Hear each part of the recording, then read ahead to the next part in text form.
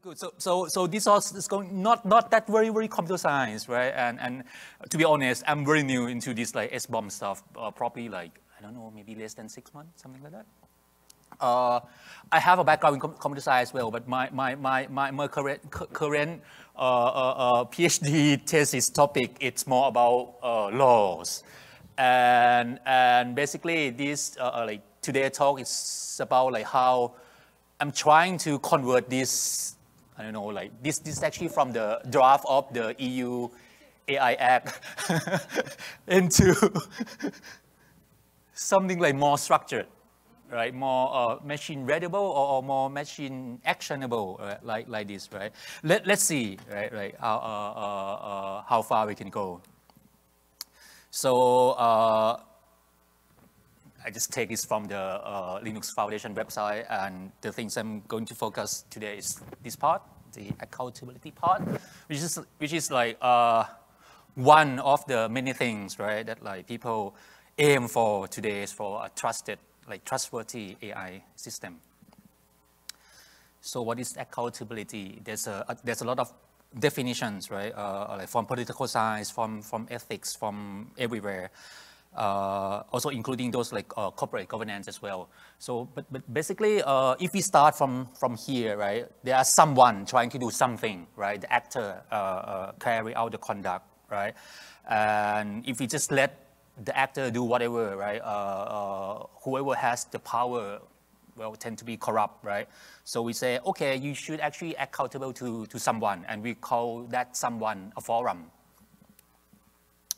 and things that the forum do is basically making a judgment uh, on that conduct, right? And then, yeah, there should be some standards, there should be some incentive or you know, things like that. So, so there are more and more stuff uh, in the diagram, right? So we have actor uh, who accountable uh, to the forum uh, in regards to, to uh, when they carry out some conduct, right? And when uh, the forum make a judgment, there should be some standards. And so, so that's, that's the, the, that sentence probably like sum up uh, our working definition of uh, accountability. Who is accountable to whom for what, uh, by which standard and why. All right, this, those like obligations. And these are examples. You, you can just like the slide is there in, in, in that platform chat. You can, I think it's very small. Yeah, you can just take a look there. But basically, uh, today we will focus on standards, right? Uh, I'll just skip this. Uh, okay, we, we talked about definitions, right? But why we have to have this accountability in the first place, right? Uh, uh I will take an example from the uh, public accountability point of view. Basically, those public services, right, or like like uh, services that delivered by the government or on behalf of the government, or things that like we see as a as a public goods, things like that. Uh, or sometimes it can be services that run by private sector as well. But it's very important. It's kind of like uh, critical infrastructure, telecom, uh, pipe waters, things like that, right? So basically, uh, this guy, Bovens and his friends, right, propose that, okay, there are, there are going to be at least uh, three perspectives, right, that uh, to answer why we need the public accountability in first place.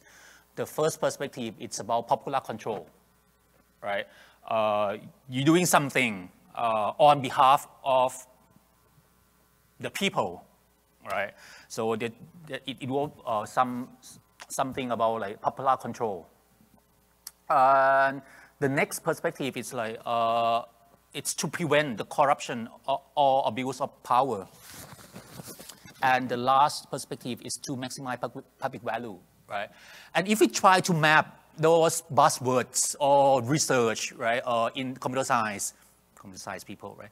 Uh, nowadays, in like for example, if if you go to the ACM FACCT conference, right, you see a lot of these words, right? Explainability, explainability, right? Human oversight bias, uh, uh, model drift, or concept drift, data drift, like detection. Somehow those research and measures can be mapped into this pers perspective as well, right? For example, the reason that we try to detect this bias and, and, and, and drift, right? It's because uh, our judgment about the world, right? In this case, the, it's uh, based on the, uh, uh, the data in the past, right? Maybe it's okay for today, right? But maybe uh, the data, uh, like the data that we use to produce the model that we use today, right, is actually the data from 20 years ago, right? Uh, it's maybe going to work for the next five years, but maybe not the next 10 years, right? So uh, it means it's probably uh, maybe maybe not really abuse of power in this case, but there are some corrupt uh, uh, decision, let's say, right? So we want to detect that, right? And a lot of people work on that. Uh, so, so that's why basically, right, uh, we need the public accountability. And with that, I think we are in this area of uh,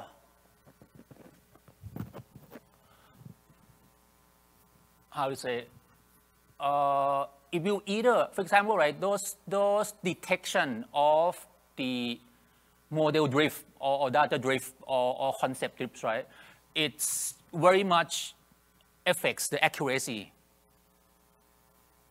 right? So, so if you think accountability, so, so, so this is like, these people propose this like, separation again, right? They are like from political science. So on one, on one side, we can thinking uh, about accountability as a virtue, as something from inside our behavior, right? And in the AI context, it's like if we try, if we have some specification, right, about uh, what should our system sh uh, uh, uh, uh should behave, right? We can detect if it's a little bit drift from that specification, right?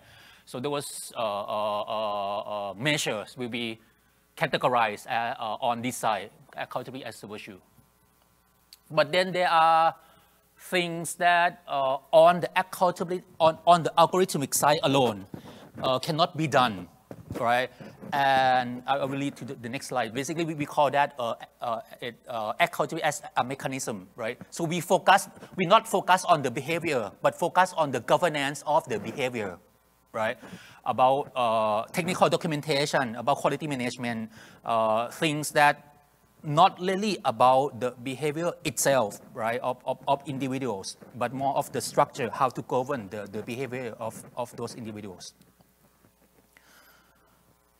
Uh, so in this way, we can think about uh, accountability, right, as uh, uh, like one way to think about uh, accountability in this sense is to asking for uh, information from those who trying to conduct something, right? So this is this is basically like uh, uh, this slide is basically the information obligations from the EU AI Act, right?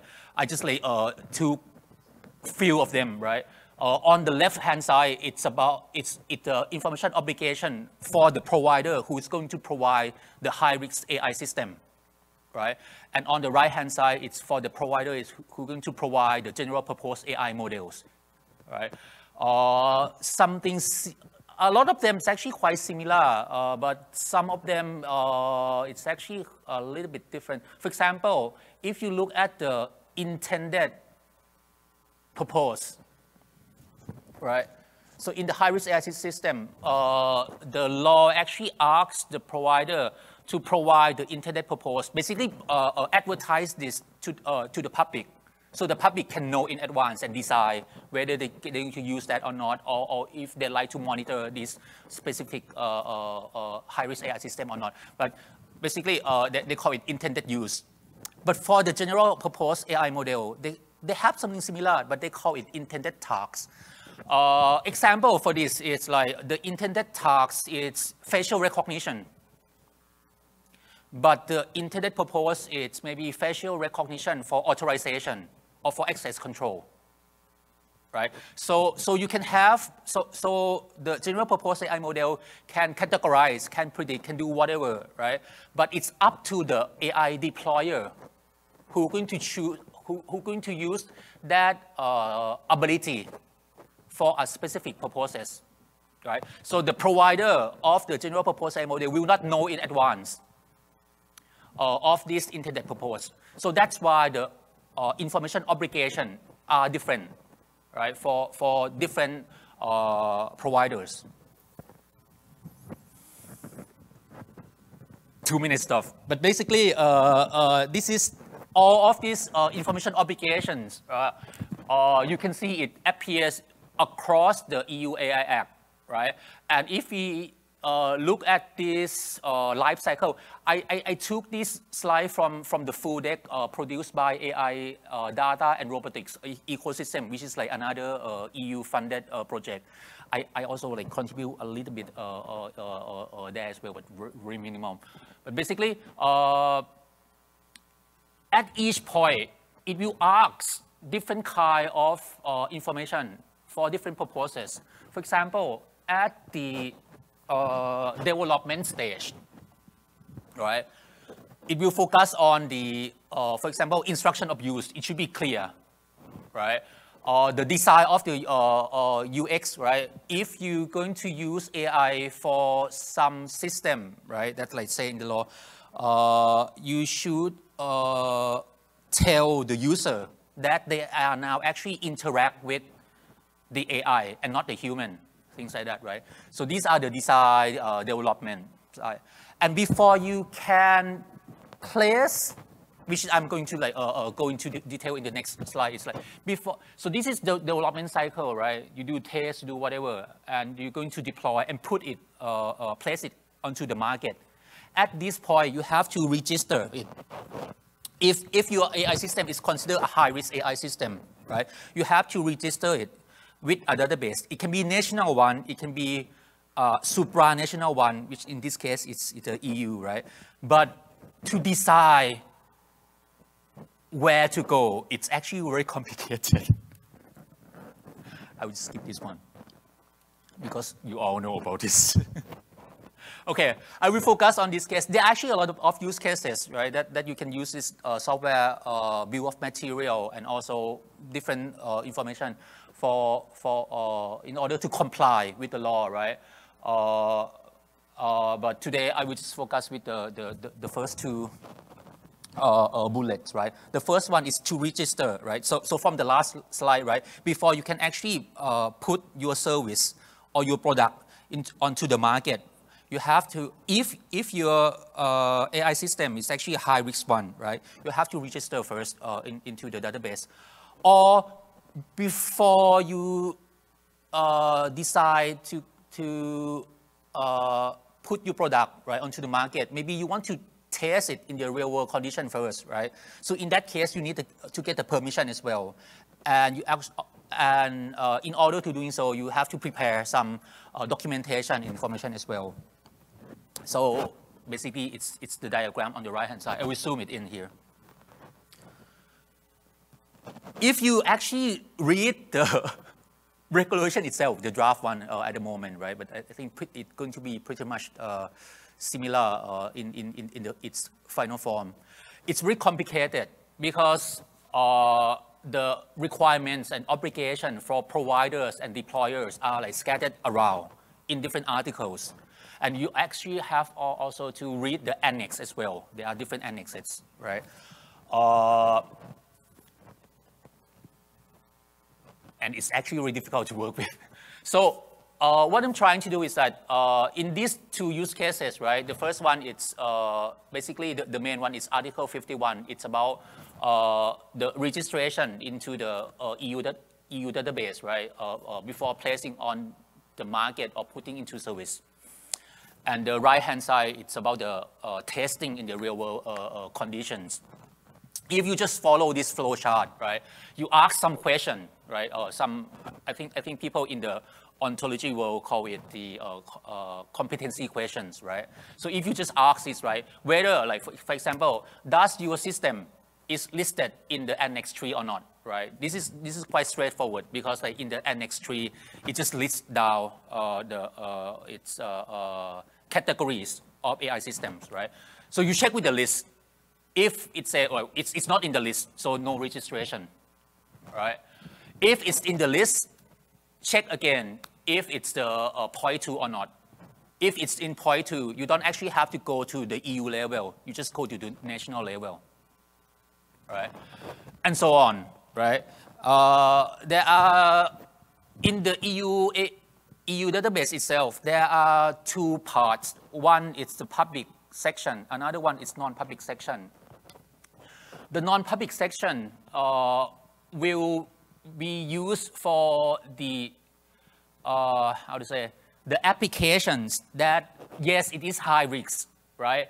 And the public should uh, uh, know about it, let's say, right?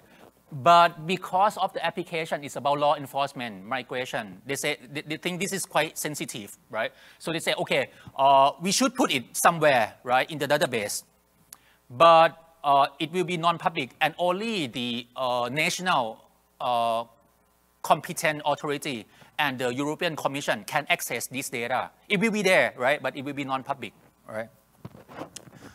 Uh, so, so this is uh, on this part. It's about uh, it's, it's only like four questions, right? And you can now decide, right, where to go, right? Register or not, at the national level or not, or, or, or, the EU level, right? And it's going to be in the public section or non-public section. Same kind of questions as well, right, for, for testing, right?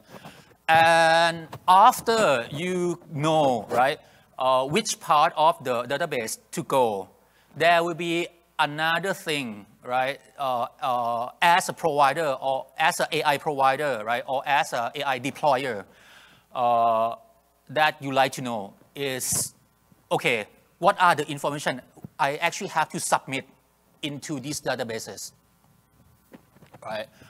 Uh, and the answer is here, right? Uh, so it depends on the classification, right?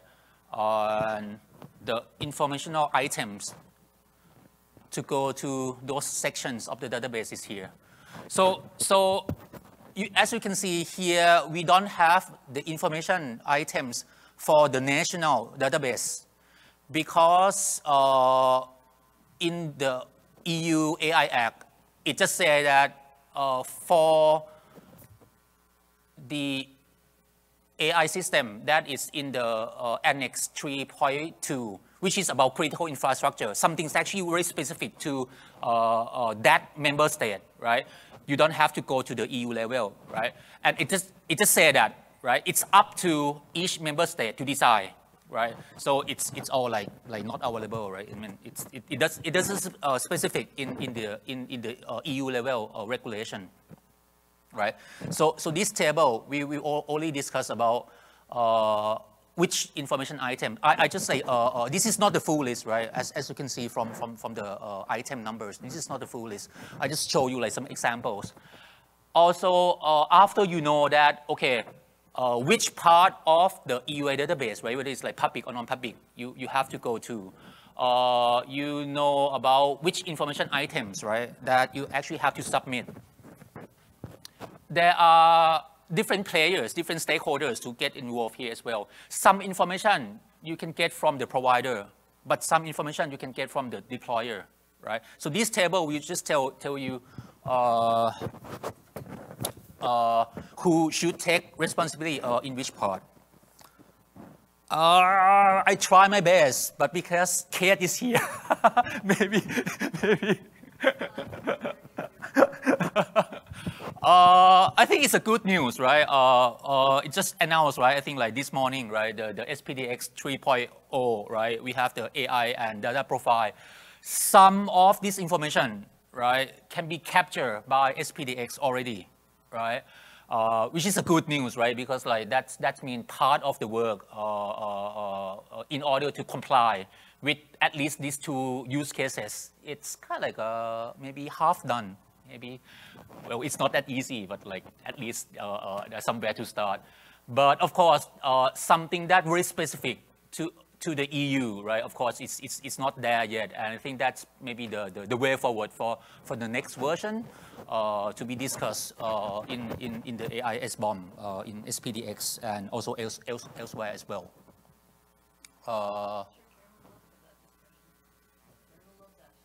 okay, cool.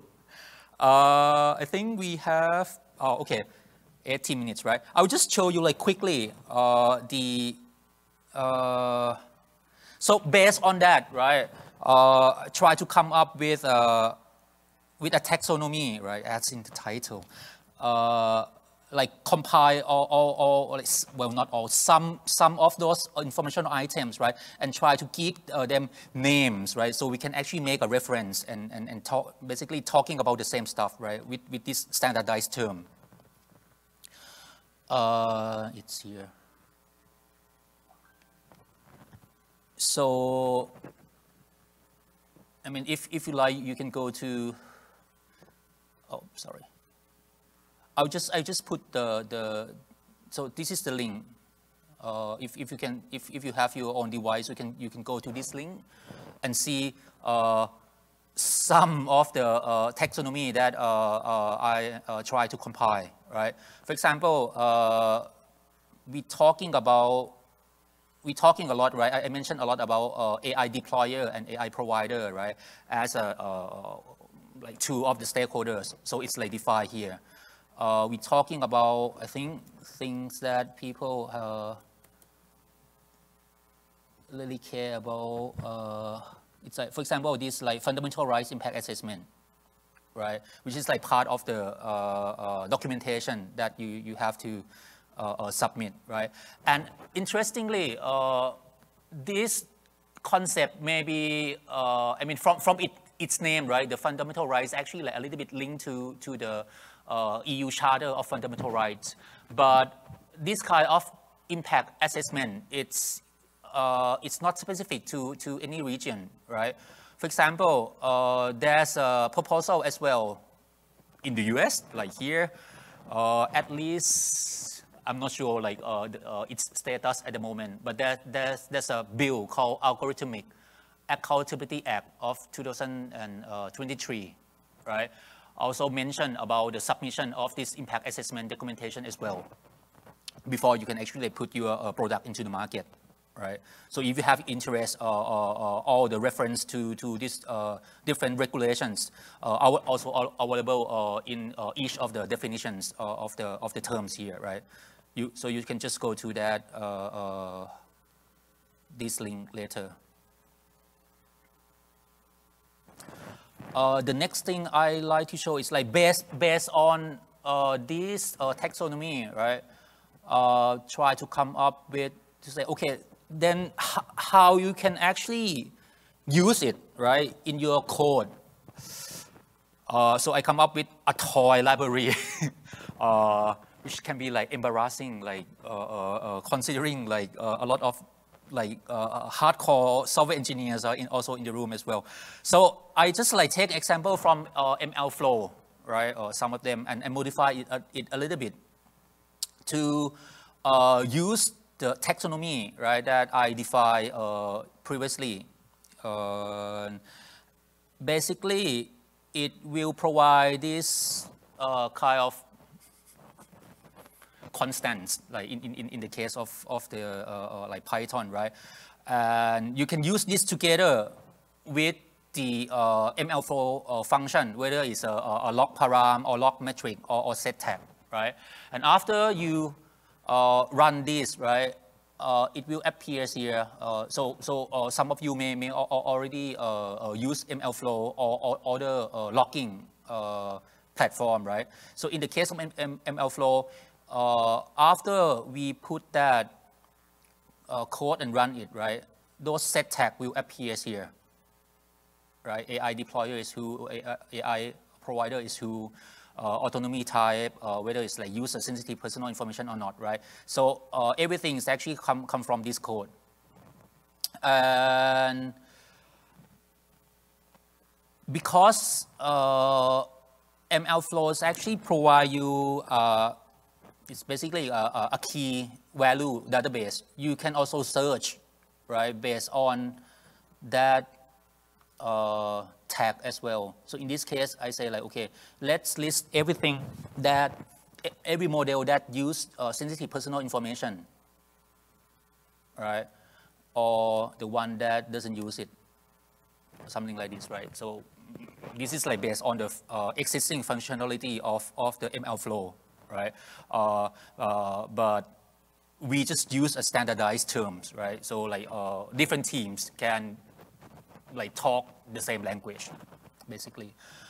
Um, I think that's probably pretty much. Uh, we probably have time to discuss something.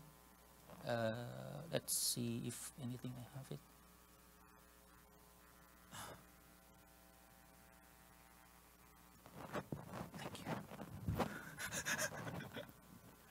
Yeah, that's that's that's what I, I, have shown, right? Uh, so basically, everything it's summing up here. It's like so. So we going back to that uh, accountability uh, perspective, right? Basically, the purpose why we need accountability in the first place, and I think uh, for different perspective, right? We of course have uh, different measures, different tools, right? Uh, and then for that, if we have some standards, if we can have some specification, right? I think it will be easier for all of us, right, to work together, right?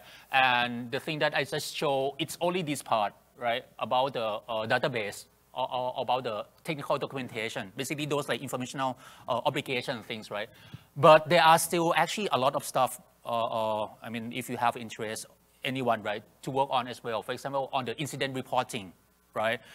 Uh, maybe we can take example from those security uh, community as well, right? It's, it's, it's not really there yet like uh, for AI, right? But this is actually a requirement as well, uh, at least in the EU context. If, uh, if there's a serious incident happens, right, how are you going to report that? And also uh, the record keeping, right, for each transaction, like each decision, right? everything will be there, and that's all uh, questions? Yay. Thank you. Thank you,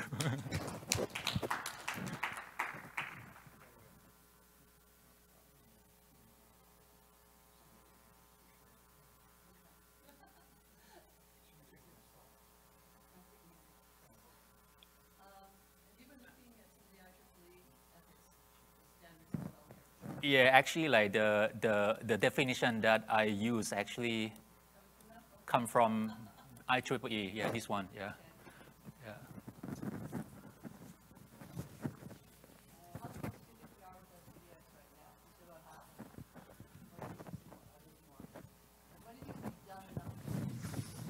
I think I think maybe it's difficult to just like take the whole. I mean, if, if you talk the, the, the EU one, right? I think maybe it's difficult to take the whole regulation and uh, maybe we can go by use cases, right? For example, like like if if if, if we go back to this this uh, life cycle, right?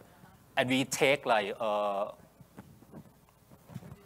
yeah, like each stage, maybe it's more doable. Yeah.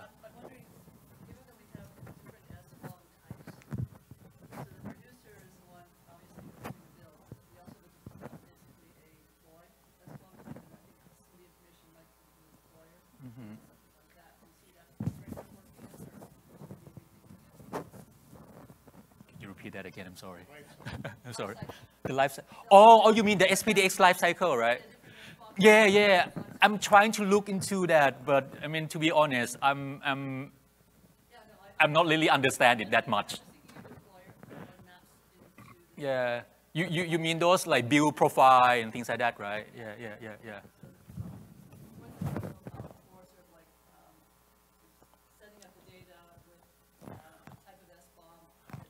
Yeah.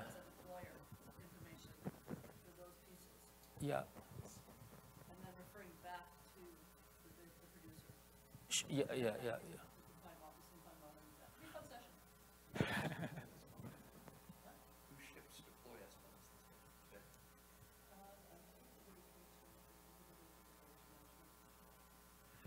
Yeah.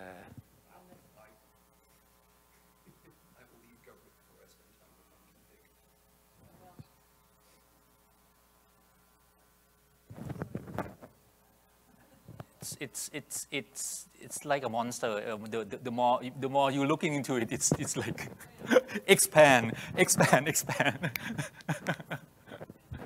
yeah. Yeah. Thanks for coming. I think yeah, we are good on time. Anything from the back? Uh, I think we have like five minutes. Yeah. Okay. Cool. Let's grab snacks, drinks, whatever. Thank you.